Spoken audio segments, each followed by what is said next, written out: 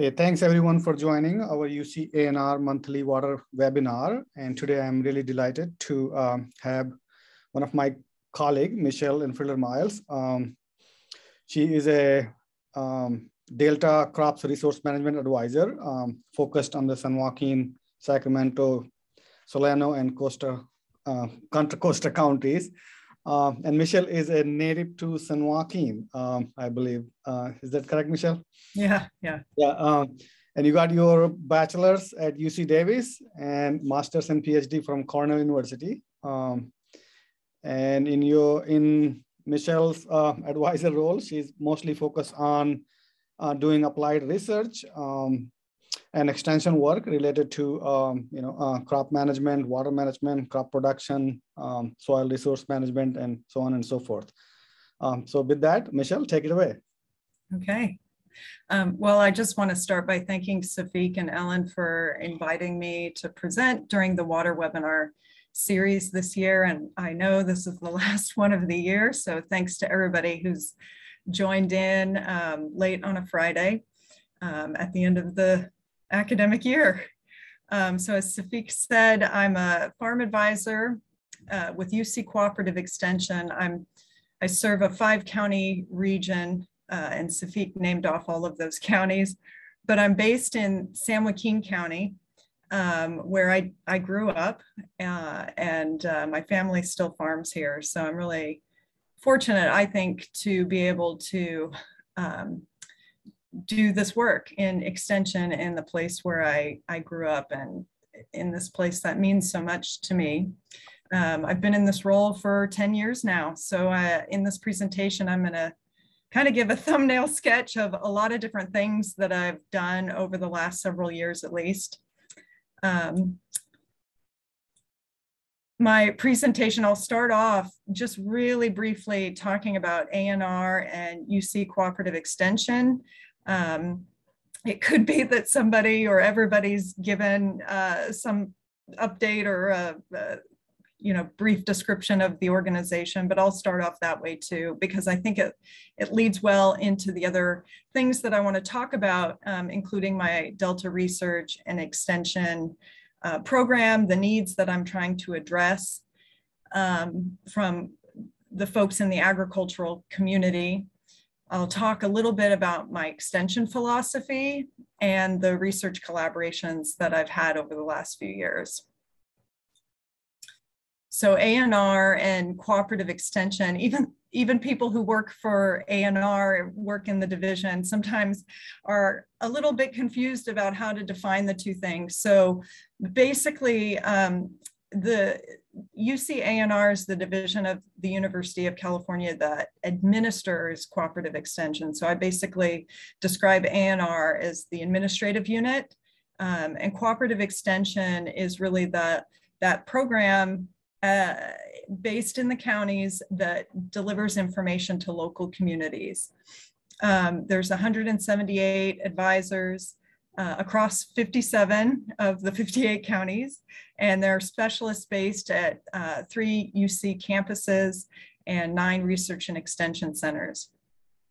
Uh, ANR also administers other statewide programs, and I've shown a few of the emblems there at the bottom, like Master Gardeners and IPM and 4-H and Master Food Preservers, but there's other statewide programs that the division um, delivers throughout the state of California for um, local communities, be them youth or farmers or um, you know gardeners or the general public. And then what can cooperative extension specifically do for Californians? Um, in, in my realm, um, we collaborate with people on research. Um, we do field diagnostics, we deliver information, and then of course there are those programs and volunteer opportunities where Californians can engage with cooperative extension and UCANR. And we promote um, uh, local economies and protect natural resources. These are some of the public values that um, ANR delivers. And then a quote um, from an uh, ANR web from the website and one of our ANR um, documents is, you know, cooperative extension has been around for over 100 years now. And I think the thing that was really appealing to me about cooperative extension and why I really sought it out for my career is that we get to do science and we get to work in our communities. We get to become experts at things and work with people um, and develop those relationships that um, help us to hopefully um, impart change or or at least uh, improve our, our community in, in some small way. Um, and so it's really kind of that boots on the ground experience that I really value and um, you know, I, I, appreciate being able to um, have. So now I'm going to kind of segue into the Delta and um, the research and extension needs that um, I have come to realize in my years as the Delta Crops Advisor, uh, recognizing that the Delta is a really um, diverse place.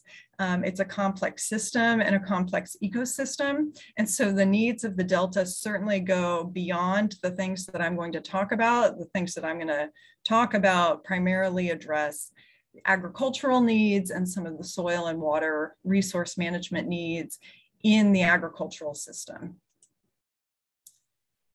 So the Delta, um, it, there's actually six counties that are in the Delta. My um, uh, job description identifies five of them that um, have the most area. You can see in that um, map on the left, there's this little sliver of Alameda County or this little triangle down there where there, there's a little bit of agriculture, but there's also, it's kind of where the state and um, Central Valley projects, the, the water projects come to, to triangulate right there. But the agricultural land is really all throughout the San Joaquin, Sacramento, Yolo, Solano, and Contra Costa counties, um, where San Joaquin County has, has the most area of the Delta among those five counties, or even six. um, the Delta has these two zones. These um, zones are described as the primary zone and the secondary zone. The primary zone is, um, I believe, statutorily defined as um, a land and water area of statewide significance. And so, generally speaking, the primary zone is an area where development really doesn't happen um, in terms of urban development. It's it's natural and agricultural and um, any kind of urban development is um, required to stay outside of the primary zone, um, but can happen in that secondary zone that you see in the map. The Delta has about 738,000 acres in total, and about 400,000 acres are in agricultural production. And this map here in the center of the screen is, it comes from um, a project that I, I was a contributor on um, where we looked at crop consumptive use and we mapped out the different crops that, that grow in the Delta. And I think what is really striking by the map there is um, just the diversity of crops that are, are shown, that are depicted there. Um, uh, there are many different type, types of, of crops, over at least over 70 different types of crops. And, um, and agriculture in the Delta is worth about a, a billion dollars annually. And then the final map uh, on the right-hand side, um, it's showing a couple of different things that um, are unique challenges for Delta agriculture. Um, and they really, uh, the Delta is really this nexus for agriculture and the environment. So one of the things that it depicts is land subsidence and the areas that are colored in red are areas of high subsidence um, where the land area is below sea level, sometimes as low as 25 feet below sea level. But what the map is also showing is that um, this is an interface between seawater and freshwater. And uh, the Delta delivers about half of the state's runoff. Um, and that water that flows through the delta is used for irrigation. But uh, what can be very challenging, um, while the, the delta seems quite rich when it comes to water um, because of how much water is eh, coming together right there. Um, it's it's often degraded by the time uh, it's available for use.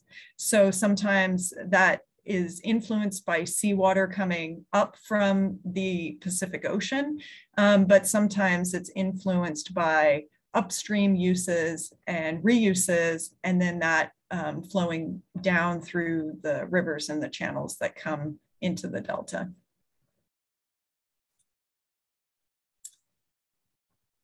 So the Delta has, like I said, over 70 different crops uh, at least. Um, when I began working as a farm advisor, one of the most important things I thought I needed to do was understand uh, if I'm going to be called the Delta Crops Resource Management Advisor, what are the Delta crops? What, what should I be focusing my work on? Um, and field crops at that time and even today are the predominant crops, at least in terms of area in the Delta. And so you're seeing a few different field crops that I that I've worked on uh, sorghum, rice, wheat, corn, which is primarily grown for grain, um, dry beans, and alfalfa. Uh, these aren't always considered the highest value crops. In fact, um, tomatoes and wine grapes are probably the highest value crops in the Delta. But when it comes to considering the amount of land area, and again, that nexus between agriculture and the environment, I thought it was really important to focus on those crops that occupy the most land. Um, pasture is also um, an important uh, land use in the Delta, but my uh, research program primarily focuses on cultivated crops. And then we often think of the soils in the Delta as being that rich organic soil uh, muck soils that are derived from plant material, basically. Um, and these are very fertile soils. Um, but where the challenge lies is that um, they're susceptible to oxidation and um, it, this can result in um, loss of soil carbon, that subsidence issue that I talked about before, and the low elevation of, of soil compared to the water. Um, and then, you know, there are some other environmental conditions that that are challenging for the agriculture community, for for the state as we uh, manage our resources. Um, the subsidence issues can result in um, uh, you know, we have a, a, a, shallow root zone in some areas of the Delta where um, groundwater is um, maybe two, three, or four feet below the surface of the soil. Um, salinity can build up in the soil, again, from water uses prior to that water coming into the delta for um, irrigation. Um, and soils are very variable. One of the picture at the bottom left is to try to illustrate that, and even the one to the right of it, where you can see all those different color variations in the soil that can mean um, challenges in, in how we manage um, you know, it's not a consistent soil type. And, and so sometimes soil quality um, can be extremely variable even within one field, not to mention um, from one ranch to another or from one end of the delta to the other. Um, I've, I've talked about water used for irrigation. So water in the delta, um, or excuse me, surface water in the delta is what's used for irrigation. Growers aren't using groundwater. Um, and, and water flows by siphon, you can see in the bottom right picture, um, by gravity into um, delta islands where it's used for irrigation. And then the water um, will, has to get pumped off of the island um, into uh, channels to keep um, to keep the water from the groundwater from becoming too high in the root zone to, um, from being saturated. And so that's a really unique um, uh, condition of Delta agriculture. Um, it means that um, much of the Delta, most growers have a riparian water right, which is the most senior water right um, in, in the California water rights system. Um, and uh, there's very little cost to um, having that water flow onto the land.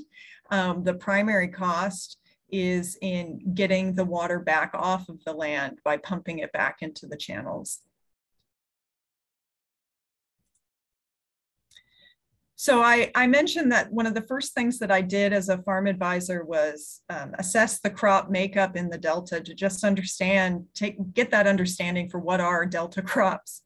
Um, but just a couple of years ago, the agronomy program team um, decided to take on a statewide needs assessment and survey growers and consultants statewide. And um, these results come from that statewide survey um, San Joaquin and Sacramento growers uh, consisted of about 31% of the survey respondents. And so I was really pleased to have such a high um, response rate from my clientele because it means that I could sort out some of the, um, sort out the survey responses and, and really hone in, sorry, my light is an automatic light and just shut off. um, it means that I, it meant I could really hone in on um, what are the needs and the challenges of, of the community that I'm serving. Um, so here are some of the things that they identified. And again, these, these results are surveyed or sorted for San Joaquin and Sacramento um, uh, uh, respondents. So the top field crops, agronomic crops, because that's what we were focusing on with this survey, were alfalfa, dry beans, uh, grain and silage corn, um, and, and small grains, wheat or uh, small grains for forage. And you can see what some of their top management challenges were, um, irrigation, weed management or other pest management, um, and nutrient management. And then you can also see um, what are some of their primary reasons for growing these crops and uh, profitability is named, crop rotation benefits, and, and tradition were all named as reasons for growing um, these crops. And then um, we also asked them to um, help us to understand their, their priorities of these different disciplines um, as they relate to agronomic crops production. And here I've highlighted some of the highest priority areas, including irrigation management or crop water requirements, nutrient management, um, insect and disease control, and testing new products. And some other high priority areas um, include water conservation, soil health, uh, weed control, and variety testing.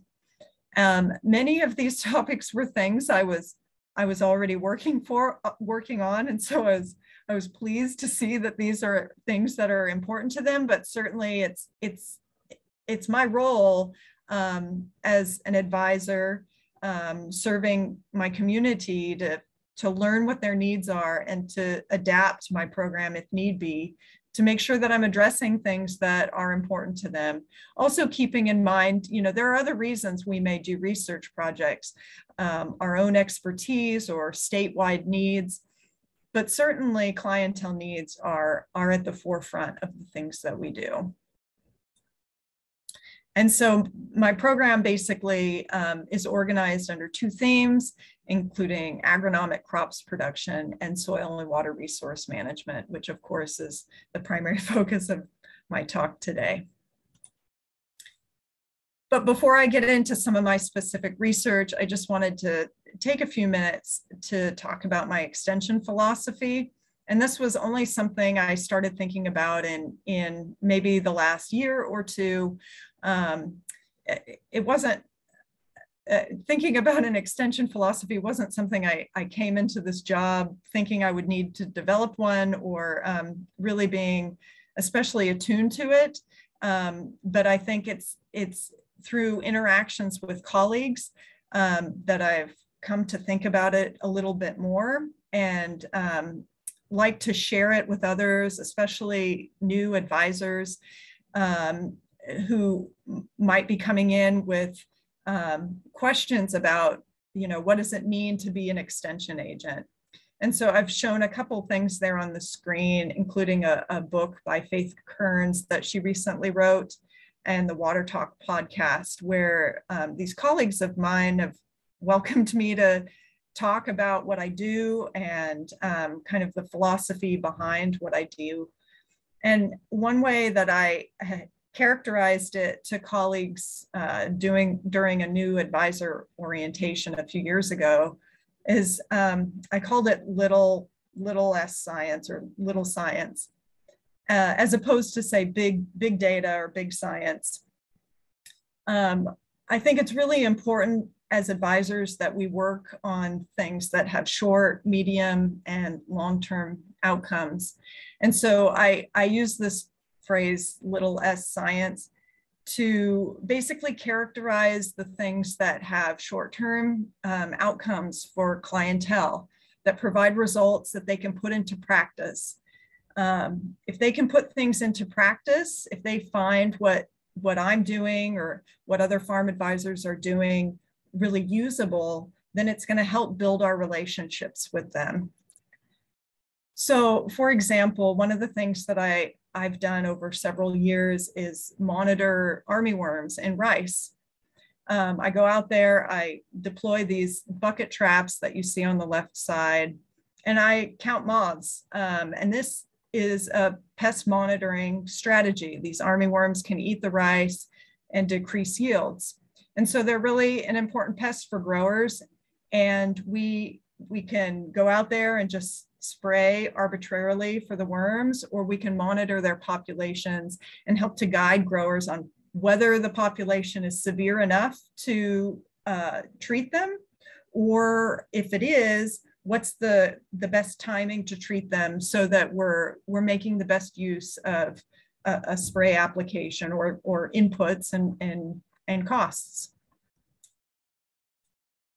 Um, but the relationships that I've built by doing kind of that little s science um, provide opportunities for bigger science. And so when I can deliver on things that growers can use in a short, a short matter of time, then um, when I go to them and ask to do things like, uh, you know, work on these larger team projects to uh, look at cover cropping or crop evapotranspiration, they're they're willing to try these things that that might be a little bit of an imposition to them.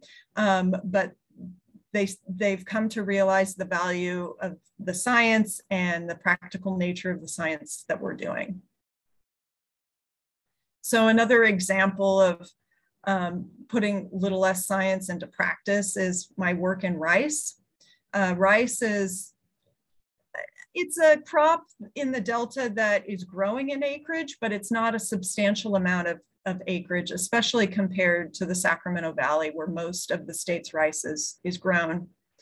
Um, my programmatic activities have again looked at army worms, uh, doing some herbicide efficacy work, weedy rice management with weedy rice is, a, is another pest in the rice system, and variety evaluations. These are some of those things uh, that hopefully we can produce results in, in the short term that growers can use. But in supporting growers in cultivating rice, by helping new growers um, become rice growers, um, we're supporting them in a production system that also helps to tackle things like carbon oxidation, soil subsidence, water system stability, and greenhouse gas mitigation. And there's just a, a screenshot of a paper um, that addresses how, that talks about how rice um, and the, the flooded rice system helps to mitigate some of these um, environmental challenges that we face in the Delta. So again, the little s science helps helps us to um, get at some of that bigger bigger data or that um, you know, those really uh, challenging, challenging things that we face um, in this system. But communication is key. Um, and so it's, it's important to recognize that your grower or clientele community don't have you know, endless time to, to listen to you or drive all over creation to meet with you. It's important to try to meet them where they are, um, deliver on-farm research whenever possible that they can go out and see and, and show them how things are working. And then to um, kind of digest material and put it um, in an interface that, that, that they prefer, that they like to use. And through our, our statewide needs assessment a couple years ago, you know, we learned a lot about um, clientele preferences, how they like to receive it, receive information. And newsletters and websites and blogs are, are really important sources of information for them.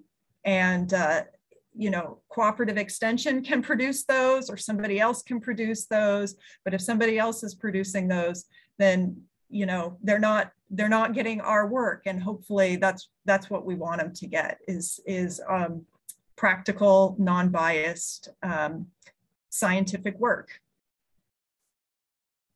um, but remembering again that communication's not just a one-way street it's important to deliver information, but it's also important to, to receive it too. And certainly the statewide needs assessment was one way that we tried to get their feedback, but certainly ongoing conversations are a really important part of that too.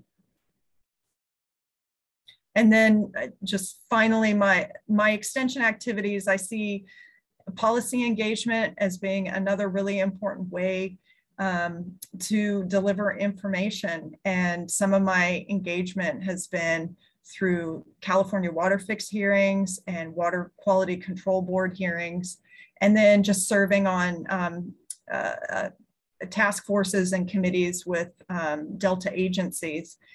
Um, you know, sitting in, in hearing rooms uh, and uh, being on the hot seat isn't exactly a comfortable place to be. And I certainly don't speak the language of lawyers, uh, which is often the language that's primarily spoken during those hearings. Um, and it's not for everybody either. But you know certainly serving on task forces serving on committees is a really a great way to get engaged with policy or rulemaking. And and probably it's it's really important for cooperative extension to be doing those sorts of things. Um, we have this really interesting relationship between clientele and between these um, policy groups and between the scientific community too. Um, so we serve as a really important hub for these different groups of people.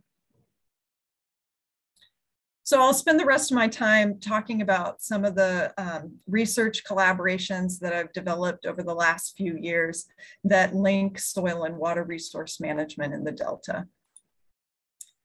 And I'm going to talk uh, quite a lot about soil, even though this is a water webinar, um, and talk about soil health, um, which I, I, know there have been other um, uh, speakers during this water, water webinar series that have talked about soil health. So this is just a really uh, brief description and diagram to illustrate what it means.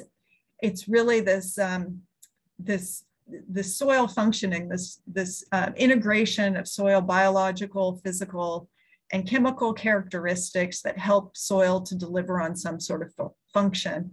And of course, in, in my world, in my my uh, line of work, that would be um, crop production. And we know that there are management practices in our crop production systems that affect soil health and influence soil water dynamics, things like crop rotation, compost amendment, tillage, and cover cropping. These are things where research has shown that diversifying um, plant species, keeping a living root in the soil, uh, increasing organic matter by um, applying amendments. These are all ways that we can um, improve upon some of the desirable soil characteristics like soil structure and nutrient cycling and microbial activity and reduce the things that are undesirable like compaction and pest pressure and, and carbon oxidation among other things. So a few years ago, I um, teamed up with a large, a large team of other farm advisors and um, extension specialists and professors on the UC Davis campus um, to do this multi-site evaluation of soil health practices. And with Brenna Aegerter, my uh, San Joaquin County colleague, we um, developed a, a, project looking at warm season legume cover cropping in the Delta. So cover cropping is not a typical practice in the annual systems of the Delta, um, but, but, the Delta is a place where um, waterways can supply irrigation water in the summer for the most part. Um, of course, there are extreme drought situations that might make that less feasible in the future. Um, but in general, um, surface waterways provide irrigation water that, that could be used for cover cropping when land would otherwise be fallowed. So for example, um, between um, small grains winter cropping, um, uh, small grains are grown during the, the fall winter season, harvested in, in the late spring or early summer. And we saw, saw this as an opportunity to apply a cover crop during those summer months before perhaps another small grains crop coming up in the following fall. And our question of interest was whether a summer cover crop could improve soil tilth at a time of year when the soil would have otherwise been fallowed and kept dry with no soil cover. And we were also, for practical reasons, wondering whether there were agronomic practices that would make it um, more feasible for farmers to employ cover cropping during the summer, recognizing that it wasn't a typical practice, probably for some reasons, right? Growers would be doing it if, um, if it was a sure thing. So our trial design was to look at uh, really simply a cover crop versus a standard dry fallow between winter small grains. This was a field that was difficult to irrigate. Um, and so the grower primarily used it for um, small grains that were rain fed that, that didn't need to be irrigated. They relied on the rainfall generally for this field. Um, we had a, a three replicate block over four acres in a commercial field. We planted a cowpea cover crop, so a leguminous cover crop. And we were hoping that the legume would provide um, benefits like fixing nitrogen. Um, they grow well in the summer when the soil is warm, and they're moderately tolerant of salinity, which can sometimes be a problem in delta soils. We did anticipate challenges like moisture, obviously, because it's summer and it's dry, and uh, pest pressure, primarily weeds, because um, after all, a cover crop is, is not something that growers want to put a lot of inputs into. So they wouldn't necessarily be um, spraying a herbicide to manage weeds, for example. Um, uh, but because we would be applying irrigation to the cover crop, when the soil would have otherwise been fallow, we anticipated there, there would be weeds growing up as well. And here are um, some of the results that we found. After three years of cover cropping, there were no, no differences in the total nitrogen, um, in the bulk density of the soil, or in the total carbon. There, there was a, a statistical interaction between the treatment and uh, and the block. But when you inter, interpose the, the data over a map of the, the trial, basically the western ed, the western half of the trial had higher carbon than the eastern half of the, uh, the trial, and we basically attributed it to some inherent soil characteristics. We, we tried to block for um, soil texture um, the soil classification. Um, but in this case, uh, it, it's still kind of teased out that way, um, showing that carbon really wasn't influenced by the cover crop treatment in just, you know, this was a short-term trial, a three-year trial. But where we did see something interesting was with salinity. And we saw that in the cover crop treatments after three years, um, soil salinity was lower than the no cover crop treatment. Um, and while, um, you know, th this may not come as a huge surprise, we were applying irrigation water only to the cover crop treatments, not to the no cover crop treatments. And so, um, and and the water quality was was quite good over the period of this this trial. Um, and so in that case, we we would imagine we we weren't putting a lot of salt on. We were able to to move salt down below the root zone. But I think the the interesting point that I wanted to make with the grower community is that in that no cover crop treatment, there wasn't even enough rainfall to mitigate um, soil salinity buildup. So you see that orange line, and over time, you, you saw the salinity go up from where it was at the beginning of the trial. Um, and so in, in periods of drought, um, or perhaps in a changing climate where less precipitation is expected, um, then, you know, in this case, having a summer cover crop where, where we really didn't apply that much water, I think we put on about six inches of water total for, for each season. Um, it, it, was enough to help mitigate um, soil salinity to keep it from building up. Another promising thing that we saw was that the cover crop helped to improve water infiltration after those three years. Um, you can see in the photograph there, um, there's, there's these sections of the photo. So right up at the, at the bottom of the photo, which would be the, the foreground, um, the soil was very powdery. And then as you moved into that first um, block of the cover crop treatment, the soil was better aggregated and it resulted in, in better water infiltration. So I would say that that was a really um, promising thing to see. And um, we not only saw it in the data, like the grower, the grower was really um, happy and impressed to see that kind of result. But one of the challenges that we had was, um, again, by applying irrigation water, um, we had weeds come up, and we also had volunteer triticale, so seed that had shattered off of the plants that didn't get harvested. Um, from the previous season or seasons before, it, it also germinated. Now, I didn't see the triticale, the volunteer triticale, as being a problem for this cover crop um, because oftentimes growers are planting a mixed species cover crop anyway. Um, triticale is a grass, and so it would provide more biomass and therefore more carbon or nitrogen inputs, well, at least carbon for sure. Um, and, and then the legume mixed in would again fix nitrogen. So those, the, the combination of uh, triticale as a grass and cowpea as a nitrogen fixer is, is a pretty good combination um, for, for a cover crop anyway. But of course, you see the Johnson grass there, which is not a desirable thing to be irrigating and uh, culturing. And um, you see in that middle pie chart that in, in 2019, the weeds basically got away from us and, and were more prevalent than either the volunteer triticale or, or the cowpea. So it, it's, um, it's a challenge with cover cropping. Um, and, uh, you know, not one to be dismissed because if those weeds go to seed, then they can be problematic um, for years to come.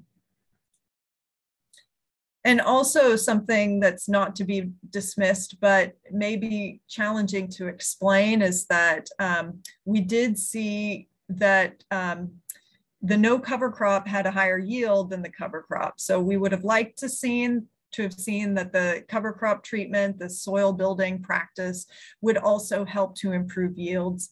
Um, we didn't see that um, over a couple of cropping seasons.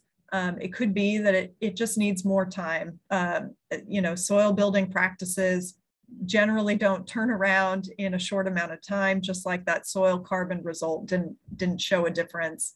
Um, and so maybe over time, we wouldn't see this kind of um, impact on yield, um, but at least in the short term, we, we, we did. Um, and it's something that we're not exactly sure how to explain as of yet. But another important part of the project was also looking at greenhouse gas emissions. Um, and, and they were minimally affected by cover crop, which I guess is in some ways good and maybe uh, some ways not so good. Um, we wouldn't want to certainly see an, a, a, huge increase in greenhouse gas emissions from a cover crop. And, you know, maybe we would, um, just theoretically speaking, um, the cover crop increase, increases microbial activity. So we did see an increase in CO2 emissions. Um, but one of the positive things is that a, a leguminous cover crop can sometimes uh, has been shown to emit more nitrous oxide. In this case, we didn't see higher nitrous oxide emissions, so that was a good thing. Um, we also saw these small fluxes in methane, but we weren't able to statistically attribute those to um, the cover crop treatment. So some of our lessons learned and grower guidance that we've been providing based on this trial is that the timing of operations had a big impact. And I didn't really talk about that today, um, but we, over the three years, had different timings of planting and cover crop termination. And for this summer cover crop, it really was most successful when we could get in there earlier, late May, and then terminate earlier, like late July. Um, and also the irrigation method is something I didn't really address today, um, but we uh, had flood irrigation in the first year and sprinkler irrigation in the second and third years. And that sprinkler irrigation was a lot better at this site. Um, a lot more, um, the, the flood irrigation, um, I think just put too much water on at one time and the cowpea didn't respond very well to that but the intermittent irrigations of sprinklers seem to help um, withstand establishment. Speaking of stand establishment, it was challenged by volunteer grain and weed competition. Um, but again, we we chose not to manage those things. We we chose to just let them go and um, kind of see how they would influence the carbon and nitrogen cycling at this site. Um, but certainly for a grower who's looking to implement cover cropping on a large scale, those things would um, be serious things to consider so that the grower's not um, increasing the weed seed bank by too much. Um, the benefits of cover cropping may not be realized after a few years. Um, this could hinder long-term adoption. Um, certainly, it's it's not easy to convey results that are negative or or that are just static. Um, and, and so I think some longer term studies are needed um, in cover cropping in general in California across, you know, microclimates in, in California and different soils in California. Um, but certainly the summer cover cropping deserves more work. It, it, it needs more data before, um, you know, we could really push this as an important practice for growers to implement. Next, I'll talk about a compost application um, project, which was also a CDFA demonstration project. This one's still underway, and so I, I don't have as much data to show, but I'll just talk about it um, to give you an understanding for why we're working on it. Um, so AB 1826 um, was the law that went into effect that requires recycling of organic wastes. Um, it's expected that we're going to have a lot more compost production and we're going to need a place to put that compost. So alfalfa is a crop that has a large footprint by area over the state of California. And so it's a possible place where that compost could go. As a perennial crop, alfalfa has a high nutrient need. And as a high traffic crop, it's a crop that we drive over a lot. Um, soils can have poor physical conditions um, especially over the, the subsequent years, three, four, five years that alfalfa is grown. So our questions of interest are, can compost improve soil structure and there, thereby um, improve soil water dynamics uh, or nutrient availability? And uh, what guidance can we give growers on compost application? So our treatments include a green waste compo compost applied at uh, three and six tons per acre versus a no compost control. Um, it's a 20 acre commercial field and those treatments are replicated three times. The compost here, in this case, is applied on the surface. So this was a, a first year stand of alfalfa at the start of this project. So no compost was actually incorporated into the soil. It's all, as you can see in the picture behind the words, it's all applied on the surface and then um, it's rain fed in. um, or, or watered in. And our hope, our anticipated benefits are that it could improve water infiltration and nutrient availability. Um, but some of the challenges we anticipated are uh, compost availability, even though this new law has gone into effect, compost is not um, so readily available just yet. And the timing of compost application. Sometimes these soil health um, uh, practices that we like to um, tout, um, the timing can, can be a big um, impedance to grower adoption. So these are some uh, preliminary results that were developed by um, one of the project leaders, Radomir Schmidt at UC Davis. Um, at the San Joaquin County site, uh, we haven't seen a statistical improvement in yield from the two compost treatments, but this is just one year of data. Um, and there does seem to be a trend of improved yield with six tons of compost per acre. So we'll see if that if that develops more as, as time goes on. And then in terms of CO2 emissions, again, like the cover crop treatment, the compost seems to um, result in higher CO2 emissions from higher microbial activity. Um, but it looks like um, the compost may help to serve uh, the soil, uh, the compost by improving soil could help to serve as a methane sink. So it would um, um basically um, retain uh, carbon that would otherwise be emitted as methane. And some of the lessons learned and grower guidance, um, green waste compost is relatively cheap, but uh, the transport costs can be quite high. Um, the high demand for compost is in the fall season because growers like to apply it um, after crop harvest and ahead of the rainy season. But um, it can often be less available at that time when everybody wants it. So to ensure availability, um, we would recommend that they try to order it in the spring or the summer and store it on site until fall when they're ready to apply it. Of course, that means they have to have a place to store it. Um, but by buying it at this other, this earlier time of the year, um, we've learned that the compost generally is better quality. It has less trash in it because um, the processors are, are able to, to, to process it more. They're not just rapidly trying to get it out the door to the next buyer. Um, again, timing, timing, timing can be challenging.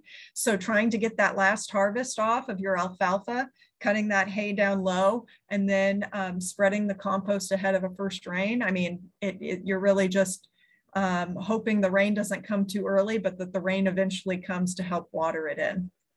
And again, not sure how long it'll take to realize some of the soil health or, or crop benefits. Um, soil health under deficit irrigation. This is another project that I've been working on with a team of folks at UC Davis. Um, and this, this work was um, financially supported by a grower group, the South Delta Water Agency. Um, growers have a keen interest in understanding how deficit irrigation might influence soil health. And so I was really um, excited to get their financial support um, as well as their cooperation on this work. Um, it just so happened that there was a project going on at UC Davis that was imposing different, different deficit irrigation treatments on alfalfa. At the time I started thinking about this problem. So the problem being that um, during drought, when water is less available, and there may even be regulatory curtailments that um, restrict growers' ability to apply water, um, growers have to make tough decisions on how they're going to apply a scarce resource, their water resources. And some growers at, during that drought decided to cut back on um, alfalfa irrigation, knowing that alfalfa is deep rooted and is has been found to be pretty resilient during drought. It may um, be impacted, but the yield may be impacted, um, but the stand can can basically survive periods of drought. So the question I, I decided to ask was, well, the alfalfa may be resilient, but what about soil health? And deficit irrigation could serve as a proxy for drought. And then understanding, um, getting that understanding, then trying to fine tune our understanding with the amount of deficit and the timing of deficit, and whether we might be able to develop some grower guidelines um, for perhaps how to impose deficit irrigation if, if the need arises. So the treatments are there on your screen. There was a full irrigation treatment of 100% of crop evapotranspiration. There were two treatments of 60% of crop evapotranspiration, but the timing of the, the restriction was different.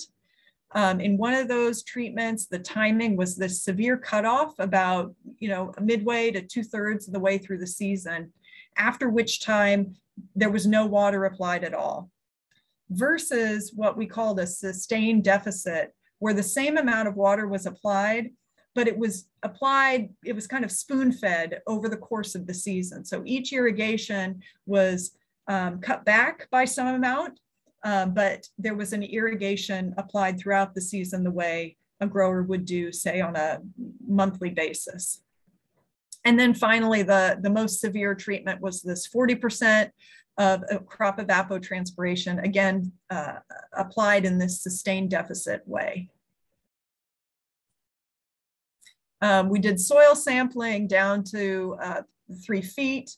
Um, we looked at total carbon, nitrogen, salinity, compaction, bulk density, nitrogen mineralization, and active carbon. So this is kind of a suite of soil health characteristics that would be lumped into these chemical, physical, and biological categories that I talked about a few slides back.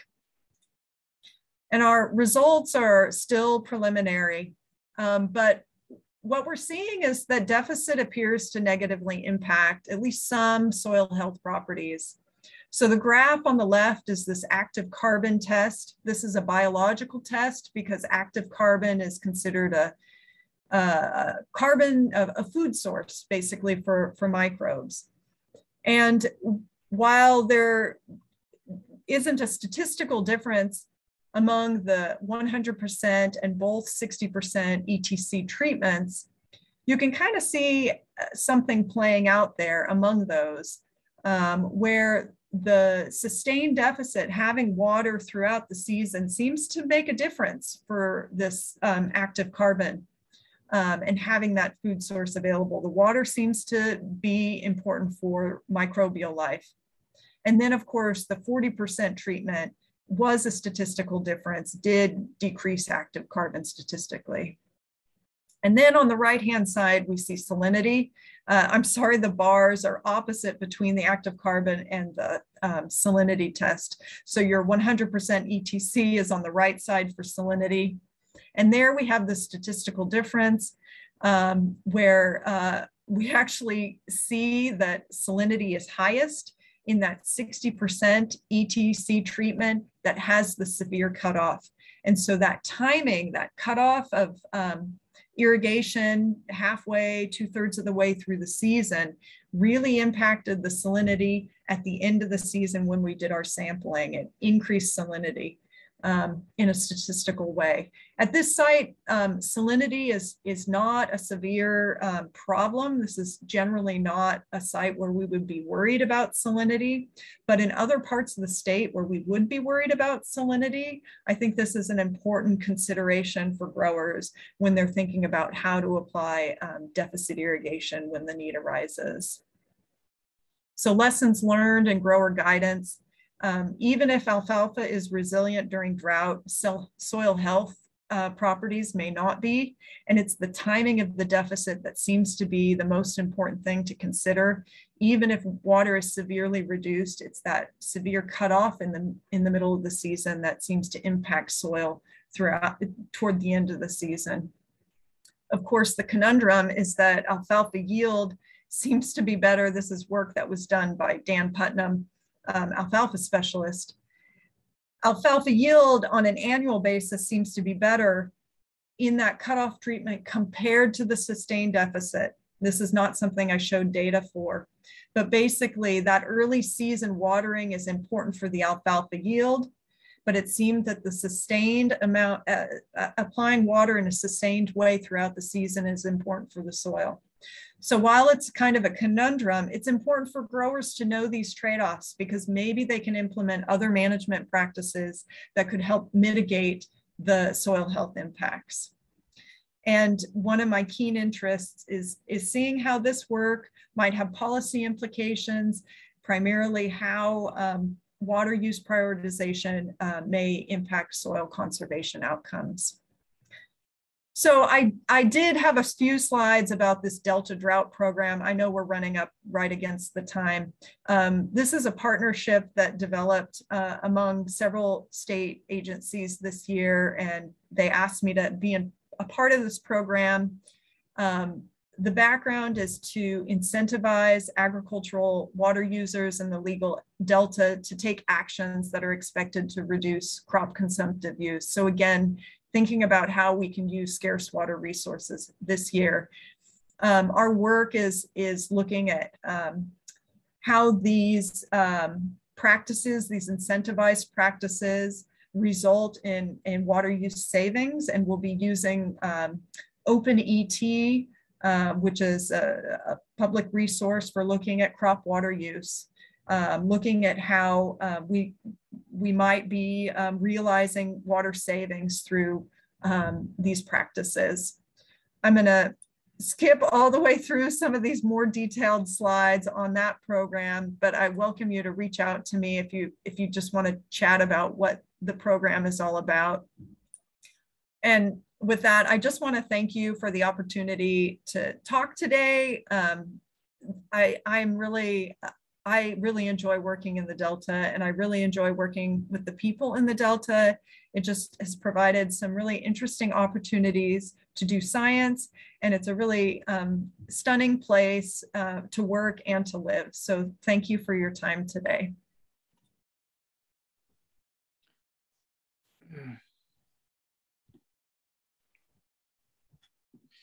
Thanks, Michelle. Uh, oh my God got your your hand all over the place. Um, yeah, and such a beautiful beautiful place to do research and live. Um, so it looks like we have a few questions in the chat, and um, looks David looks like you have a question you want to ask. Well, I'll defer to you, Safika. If you want me to go first, I will. Um, but you, those folks in the chat got their questions in before me. Okay, so yeah, let me let me read at least you know a few questions, and I will hold mine um, there. So, uh, Michelle, the first question is from Ben. What is the difference in quality of water delivered to the field and water pumped off the field? Uh, I'm guessing it's water pumped from the ground. No, I think what um, Ben's referring to is, um, you know, water falls by gravity onto the field. It's used for irrigation of crops. And then uh, to maintain that groundwater level below the crop root zone, um, water is pumped off and, and back into the channels. Oh. And um, I mean, Ben, I, I, I can't really answer your question. Um, I, have looked at it in terms of salinity and basically the salinity is, is not changed uh, too much. Um, but in terms of other metrics, I can't really answer you on that, but certainly the, um, Water Quality Coalition is out there monitoring water. Um, and, and I participate in that steering committee, and sometimes there are hits for pesticides, but really um, uh, they're infrequent. Um, water quality is, is really quite good uh, in the Delta. So I'm not sure if you're referring more to like the nutrient side or the pesticide side, um, but uh, certainly on the pesticide side, um, the Water Coalition is looking at that. Well, that shows how little I know about Delta water management. Um, the, ne the next question is, were the cowpeas harvested for sale? Um, this is again from Ben. No, they weren't harvested for sale. So we, um, the first year we did not terminate the crop early enough um, and they did go to seed but generally with a cover crop you don't want it to go to seed because then that seed gets incorporated into the soil and it could become a weed in the future. Um, and so no they uh, with the exception of the first year when our timing was off um, uh, they didn't even produce seed in the second and third years which is what we would have wanted for all three years Okay, David, you're next. Okay. Um, well, Michelle, I'll just say in general, it was a real pleasure, and uh, we, meaning California, but also Cooperative Extension, are glad, lucky and glad you're where you are.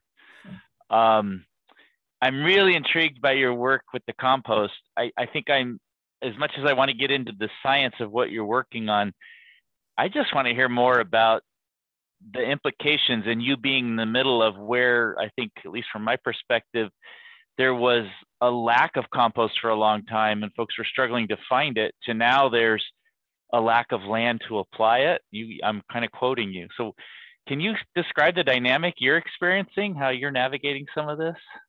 Well, I, you know, I may have misspoken in or misconveyed what I was trying to convey. I think there's there's probably not a lack of land of where to apply it, um, but it's it's getting people on board to apply it. So, I mean, compost is is probably cheaper now than it has been in the past. Um, and so as an input, the, the cost of it, and certainly the transport cost of it in the past and, and even to the present, was um, the inhibiting factor.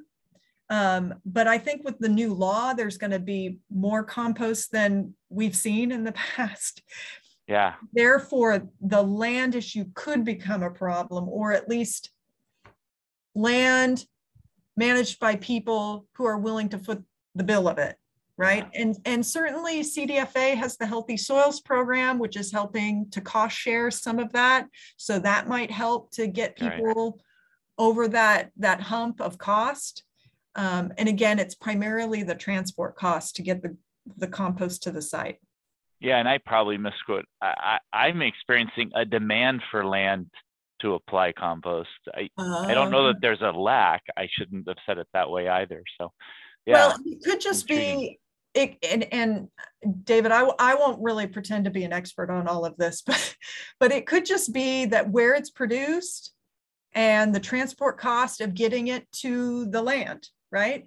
And that could be what makes um, that could be the hump, right? That we need to get over is that it's produced somewhere, but there's not enough land near to where it's produced. So we'll we'll see. Yeah. No. Thank you. Yeah. Um, I have like a, a very specific question, and again, I don't really know much about the delta, and I was just curious. Um, just seeing some of the results that you presented, both on the cover crop as well as on the on the manure application.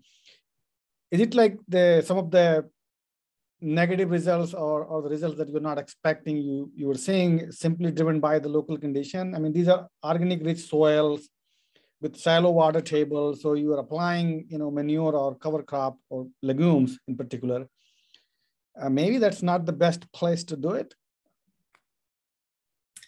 Well i think cover crops when it what i'm hearing from growers is that uh, among this this you know grouping of soil health practices that are being funded by CDFA, for example. Um, cover cropping seems to be the, the more challenging fruit to bite off. Um, and I think it's primarily a timing issue. I mean, I talked about timing with the compost application. There's there's challenges with that, but the cover cropping, I think, is where growers really face timing challenges and um, th- those those challenges they're reality. Um, they may be more severe in some years versus others. Um, but i think they could be um, Uh, just the thought of the timing challenges might be enough to inhibit people from trying cover cropping mm. compared to compost where the challenge is probably in a shorter window of time. Again, you want to harvest the crop, you want to apply compost, and then you hope for rain. Yeah. But with cover cropping, you've got potential for rain. You've got when am I going to plant this thing? When am I going to terminate this thing? When am I going to get my cash crop in? It's just the timing issues are way bigger and broader than, say, with compost. So, um, there there could be site conditions that that led to the the results that we saw but there could have been management things too that um, led that that were in large part uh, related to timing, but also just um, things being different from the status quo, right? A, yeah. ground, a piece of ground that was primarily fallowed every summer between small grains going to, oh my gosh, I got to plant something here. Oh my gosh, I got to put water on this thing. Oh my gosh, I got to terminate this thing. And oh my gosh, I got to plant my cash crop. yeah. Well, nicely put. Um, so I think we are over time, so I'm gonna uh, end the, the webinar yeah. here. And again, um, join me in thanking Michelle one more time for, for taking the time and, and really um, giving this wonderful talk. Thanks, Michelle. Yeah, thanks everybody for joining. Yeah. Take care. Bye.